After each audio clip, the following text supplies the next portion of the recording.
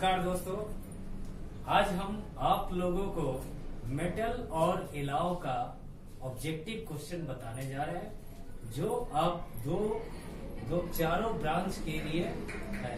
यानी कि अर्थात इलेक्ट्रिकल मैकेनिकल सिविल और इलेक्ट्रॉनिक्स और यह चैप्टर बेसिक प्लस अप्लाइड दोनों केमिस्ट्री के लिए है।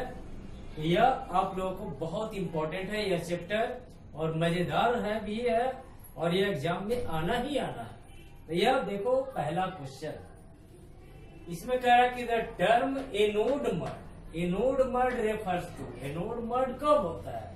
जब आप इलेक्ट्रो रिफाइनिंग प्रोसेस कराते हो तो एक मेटल प्योर मेटल प्लेट और एक इम्प्योर मेटल प्लेट होता है। जिसमें प्योर होता है कैथोड और इम्प्योर मेटल का जो प्लेट होगा, वह एनोड होता है। जब आप इलेक्ट्रोलाइसिस कराते हो तो एनोड का साइज़ डिक्रीज करते जाती है और वह कंटेनर की बॉटम में बैठती जाती है, जिसे हम एनोड मट कहते हैं। यह कह रहा कि टर्म क्या है, किसको बताती है? पहला कह रहा कि impure metal acting as anode के रूप में एनोड कोटेड विथ मर्ड भी नहीं होगा। Impure metal acting as anode impure metal तो हम एनोड के रूप में करते हैं, लेकिन एनोड मर्ड तो होगा नहीं।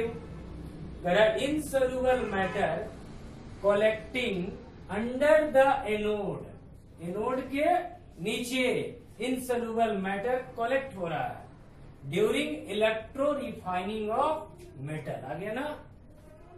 कैल्शियम सिलिकेट है भी ना? तो आपका आंसर हो गया कि जब इलेक्ट्रो रिफाइनिंग ऑफ़ मेटल कराते हैं तो इन सोल्यूबल मैटर जो होगा एनोड के अंडर कलेक्टिंग होते जाएगी, जिसे हम एनोड मड कहते हैं। तो यह आंसर आपका फ़र्स्ट सी हो गया फ़र्स्ट का।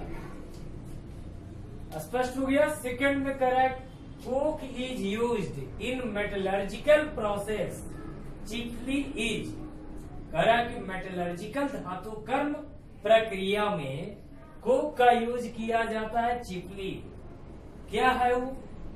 ए में दिया है प्लस रिड्यूसिंग एजेंट सी में स्लैग ऑक्सीडाइजिंग एजेंट तो जो कोक होता है तो रिड्यूसिंग एजेंट यह होता है। तो रिड्यूसिंग एजेंट आप किसको जानते हो? वैसे सबस्टांस दो दूसरे पदार्थ के। ऑक्सीडेशन नंबर को डिक्रीज कर देता है, उसे रिड्यूसिंग एजेंट कहते हैं। और ऑक्सीडाइजिंग एजेंट जो दूसरे पदार्थ को ऑक्सीडेशन नंबर को बढ़ा देता है। तो कार्बन जो होता है, दूसरे पदार्थों का ऑक्सीडेशन नंबर को डिक्रीज कर देता है। अर्थात वह अपना ऑक्सीडेशन नंबर बढ़ा देता है।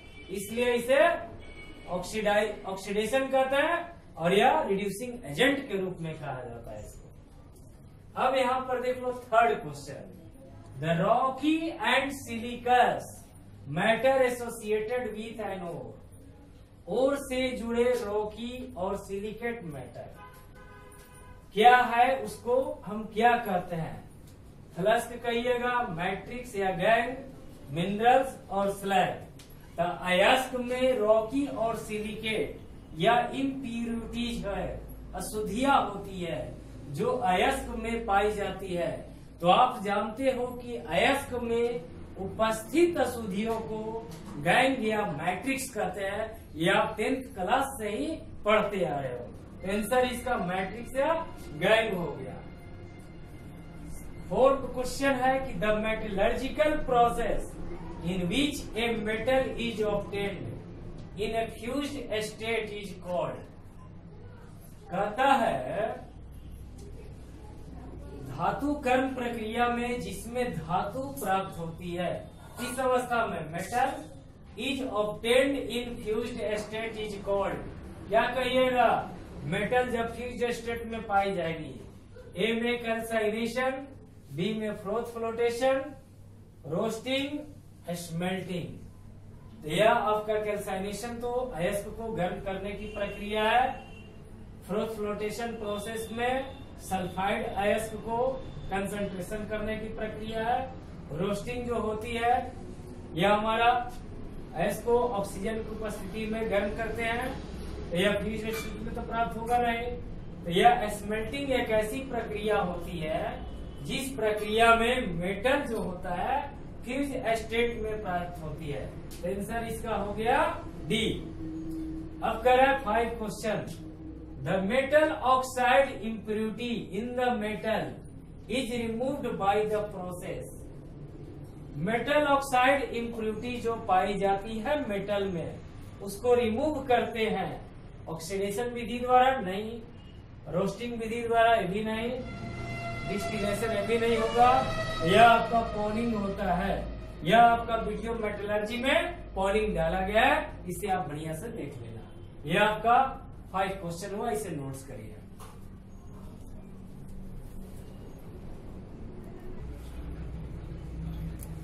अब आप क्वेश्चन नंबर सिक्स देख सकते हो, कह रहा है कि इन ओपन हर्थ फर्नेस यानी कि hearth process for manufacture of steel fuel is use कह रहा कि स्टील के मैन्युफैक्चर में ओपन हर्थ प्रोसेस में, है ना? स्टील के मैन्युफैक्चर के लिए ओपन हर्थ फर्नेस में फ्यूल मैंने ईंधन का उपयोग हम क्यों करते हैं? इसलिए करते हैं? ए में दिया प्रोड्यूसर गैस बी में कोल गैस सी में वायल गैस डी में वाटर गैस तो आप लोग को जो फिगर हमने बताए होंगे स्टील और आयरन उसमें जो आप लोगों ने फ्यूल के रूप में जो यूज़ किए हो वह प्रोड्यूसर गैस के रूप में हम लोग यूज़ करते हैं। इसके बाद बी में solder is an alloy of seven question है। सोल्डर जो होता है, किस चीज़ का अलाउ होता है? तो सोल्डर आप लोगों को बतलाया गया था कि लेड और एसेंट तीन का होता है। तो ये में दिया है कॉपर जिंक या नहीं होगा? कॉपर और एसेंट ये भी नहीं होगा। डी में लेड और टीन ये आपका होगा। लेड और टीन के लिए टीन को मिश्र करते हैं, तब तो हमारा एलाव सोल्डर बनता है। न कि लेड और एसबी याद रखना, solder is an alloy of lead and tin, ऐसा क्वेश्चन नंबर एट में कह रहा है कि in which of the following process the concentrated ore is heated? In excess of air to a temperature at which the ore is heated in excess of air to a temperature at which the ore does not melt तो किस process के अंतर्गत temperature किस ताप पर गर्म करते हैं कि ओर जो होता है मेल्ट नहीं करता है और इज़ हीटेड हो गया ठीक है? Excess of air to a temperature at which यहाँ पर देखो दो बार लिखा गया है, यहाँ से हटा दो। At which the ore does not melt कहता है कि जो ओर है आपका किस टेम्परेचर पर गर्म करते हैं कि वह मेल्ट नहीं होता है? ए में कंसाइनेशन बी में लिक्वेशन सी में रोस्टिंग और डी में स्मेल्टिंग तो हमारा मेल्ट नहीं करता है कंसाइनेशन पर मेल्ट करेगा स्मेल्टिंग पर मेल्ट कर जाएगा लिक्विफिकेशन पर. तो इसमें कह रहा है कि डज नॉट मेल्ट तो रोस्टिंग जो होता है, यह सल्फाइड अयस्क को हम लोग ऑक्साइड में चेंज करते हैं. यह पढ़े होंगे आप लोग जिंक सल्फाइड को ऑक्सीजन में जलाते हो। यह जिंक ऑक्साइड और प्लस एसओ टू गैस करता है। यह बैलेंस करना है, टू टू कर दो या थ्री कर दो। तो ट्वाइस जेड हो गया और सल्फ़र दो है तो ट्वाइस एसओ टू। यह कहता है कि जिंक सल्फाइड हो रहा है जो हमारा एयर के उपस्थिति में गर्म करते हैं इसको तो यह हमारा जिंक ऑक्साइड बनता है और इससे टू गैस मुक्त हो जाती है। इस केस में जो मेटल है वह मेल्ट नहीं करती है। फिर अगला क्वेश्चन है, इस तरह इसका इस क्वेश्चन का आंसर रोस्टिंग हो गया। कि the metal present in non ferrous alloy is non ferrous alloy में कौन सा मेटल उपस्थित होता है? Aluminium copper iron non ferrous का मतलब आयरन उसमें मेन कंस्टिट्यूएंट नहीं होगा। इसलिए आंसर क्या होगा? एल्युमिनियम भी हो सकता है कॉपर भी हो सकता है जिंक भी हो सकता है, लेकिन आयरन नहीं होगा। यहाँ पर ऑल ऑफ़ दीज दिया है। आंसर इसका डी हो गया ऑल ऑफ़ दीज अब आप क्वेश्चन देख सकते हो टेन में in metallurgical metallurgy flux is a substance use to convert flux का एक सबस्टांस है जिसको बदला जाता है। तो किस चीज़ में? तो मेटलर्जी प्रोसेस में किस मेटलर्जी प्रक्रिया में फ्लस्क को हम कन्वर्ट करेंगे किस चीज़ में? दे में दिया fusible impurities to infusible material में। बी में दिया इनफ्यूजिबल इम्प्यूटीज से फ्यूजिबल में कन्वर्ट कर देता है। फ्लस्क सी में दिया है minerals into silicate soluble particles to in insoluble impurities तो इस केस में आप लोगों को फ्लस्क को हम कन्वर्ट करते हैं। तो किस रूप में? फ्लस्क जो होता है इनफ्यूजिबल इम्प्यूरिटीज होता है, जिसे फ्यूजिबल में कन्वर्ट कर देता है। तो गैंग और फ्लस्क को मिला देते हैं तो यह स्लैग बन जाता है। तो यह आपका गैंग और फ्लस्क इनफ्यूजिबल मटेरियल है। जो फ्यूजिबल में कन्वर्ट हो जाता है तो आंसर इसका बी हो गया। इसको नोट्स कर लो। क्वेश्चन नंबर इलेवन आपको कह रही है कि open hearth process of steel manufacturing involves oxidation of impurities of pig iron at about 1500 degree C by the following तो कह रहा है कि ओपन हर्थ प्रोसेस में तो किसके मैन्युफैक्चर में? स्टील मैन्युफैक्चर में, जो आपका ऑक्सीडेशन इन्वॉल्व होता है, कब? पिग आयरन जब 1500 डिग्री सी पर इम्प्रूटीज होती है तो फॉलोइंग तो किसके आधार पर होता है? ए में कैल्शियम सिलिकेट बी में हेमेटाइट लाइम स्टोन ऑक्सीजन तो इस केस में कौन सा हम फोर्स यूज़ करते हो? आयरन के लिए रेड हेमेटाइट ओर। यह 1500 डिग्री सी पर रेड हेमेटाइट ओर को किया जाता है। तो याद रखना हेमेटाइट फिर अगला सवाल है which of the following nickel alloy is use for making chemical textile dye textile dye petroleum and food processing plant में। कह कि निम्न में से किसमें निकेल एलाव का उपयोग हम मेकिंग करने, बनाने में केमिकल टेक्सटाइल डेयरी पेट्रोलियम और फ़ूड प्रोसेसिंग में करते हैं। पहला दिया है में कॉन्स्टेंट बी के आइकोन आइकोनोल सी में मोनल मेटल और nichrome food processing petroleum dye industry textile और केमिकल इंडस्ट्री में। तो हम निकेल अलाव के मोनल मेटल का यूज़ करते हैं, यह याद रखना। यह मोनल मेटल का यूज़ फ़ूड प्रोसेसिंग में आप लोगों को बताया गया है, मेटल और अलाव में। क्वेश्चन नंबर थर्टीन जो कह रही है कि ड्यूरेलियम कंटेन एबाउ ड्यूरेलियम में आपको क्या पाई जाती है? कितना परसेंट एल्युमिनियम? ए में दिया है 95 परसेंट एल्युमिनियम। बी में 40 परसेंट एल्युमिनियम सी में 60 परसेंट डी में 50 परसेंट एल्युमिनियम तो जो ड्यूरेलियम होता है, उसमें 95 परसेंट एल्युमिनियम पाई जाती है याद रखना। फोर्टीन क्वेश्चन है कि the alloy use to make safety plugs for cookers के लिए। कुकर्स के सेफ्टी फ्लक्स जो होता है सिटी जो बजती है फायर अलार्म देती है इज़ किस चीज़ का बना होता है? वह कौन सा अलाव का यूज़ करते हो आप ए में दिया है वुड मेटल बी में रोज मेटल सी में टाइप मेटल और डी में बोरन तो जो कुकर में हम फायर अलार्म के रूप में जो अलाव का यूज़ करते हो, वह वुड मेटल का होता है। ये याद रखना।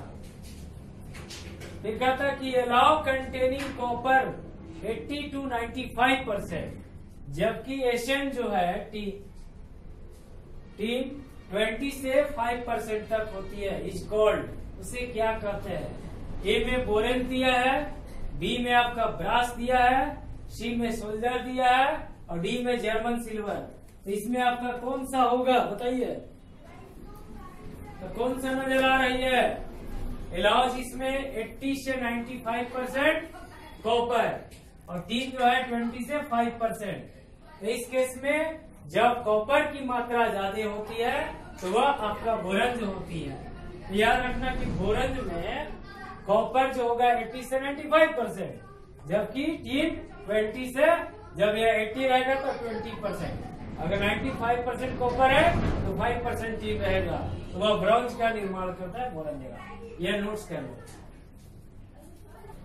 क्वेश्चन नंबर 16 में कह रहा है कि बीच है zero zero coefficient of expansion तो किसका किसमें ज़ीरो कोफिशियंट ऑफ़ एक्सपेंशन होता है? ए में इनवार बी में शोल्डर सी में प्यूटर नन ऑफ़ दिस तो ज़ीरो कोफिशियंट ऑफ़ एक्सपेंशन हमने बताया भी था कि इनवार जो होता है अलाउ उसमें आपका ज़ीरो कोफिशियंट ऑफ़ एक्सपेंशन होती है। अगला सवाल है कि which one of the furnace among the following can produce at produce highest temperature तो कौन सा फर्नेस्ट जो है, आपका बहुत ही उच्च टेम्परेचर पर होता है। ए में ब्लास्ट फर्नेस बी में electric furnace muffle furnace reverberatory furnace तो वर्तमान में जो आपका फर्नेस यूज़ हो रहा है हाईएस्ट टेम्परेचर जो दे रही है, वो इलेक्ट्रिक फर्नेस पर होती है। याद रखना। करा कि अगला क्वेश्चन 18 जो है the method not employed for refining of metal तो वह कौन सा मेथड का उपयोग आप मेटल के शुद्धिकरण में नहीं करते हो? पहला दिया है पॉलिंग लिक्विशन इलेक्ट्रोलाइसिस और लीचिंग यह आपका लीचिंग प्रोसेस के द्वारा आप हम लोग मेटल का रिफाइनिंग नहीं करते हैं। ध्यान रखना। यह आपका लीचिंग प्रोसेस मेटल और एलाव मेटलर्जी चैप्टर में यह दिया गया है, उसको देख लीजिएगा स्पेशल बहुत इंपॉर्टेंट है लीचिंग प्रोसेस फिर अगला सवाल है कि permanent magnet can be made from तो परमानेंट परमानेंट मैग्नेट हम किससे तैयार करते हैं? पहला दिया है कास्ट आयरन के द्वारा बी में दिया है रफ्ट आयरन के द्वारा सी में स्टील डी में बोथ ए एंड बी है ना? तो इस केस में परमानेंट मैग्नेट जो तैयार होती है, वह याद रखना स्टील से तैयार की जाती है। फिर क्वेश्चन नंबर ट्वेंटी है most useful form of iron is सबसे ज़्यादा आयरन का यूजफुल रूप कौन सा होता है? Iron pig iron steel wrought iron all of these तो वर्तमान में हम लोग स्टील का यूज़ ज़्यादा करते हैं। यह हर जगह देख सकते हो। घर में, बाहर, या इस तरह स्टील का उपयोग हम लोग बहुत करते हैं। इसको नोट्स करो। आप क्वेश्चन नंबर ट्वेंटी वन देख सकते हो। ट्वेंटी वन कहता क्या है सवाल? करा scrap steel can be use to reduce है ना? टू यहाँ पर अच्छा नहीं दिख रहा है तो ये अच्छा दिखा दो। To reduce the cost of production of steel तो स्टील के प्रोडक्शन के कॉस्ट में कमी लाने के लिए स्क्रैप स्टील का यूज़ किया जाता है। तो किस प्रोसेस में, इन किसमें LT process open hearth process में रिवर्बरेटरी प्रोसेस में ब्लास्ट फर्नेस प्रोसेस में। याद रखना है कि ब्लास्ट फर्नेस स्टील और आयरन हम लोग तैयार करते हैं। यह स्क्रैप्ड स्टील का यूज़ हम लोग ब्लास्ट फर्नेस में करते हैं। अब है क्वेश्चन नंबर लास्ट आपका। In open hearth process of steel making the acidic impurities present in iron ore are generally removed removed by using कहता कि ओपन हर्थ प्रोसेस स्टील बनाने के ओपन हर्थ प्रोसेस में for the making of acidic impurities acidic impurities के बनाने के लिए steel के हर प्रोसेस में प्रजेंट आयरन और जो होता है रिमूव्ड होता है। किसके द्वारा? बेसिक लाइनिंग के द्वारा एसिडिक लाइनिंग के द्वारा न्यूट्रल लाइनिंग के द्वारा, या ऑल ऑफ़ दीज के द्वारा। याद रखना एसिडिक है। एसिडिक इम्प्योरिटी जो प्रेजेंट है आयरन ओर में यूजिंग रिमूव करना है तो यह बेसिक लाइनिंग नहीं या आपको एसिडिक लाइनिंग का यूज़ करना होगा इम्प्रिटीज को दूर करने के लिए।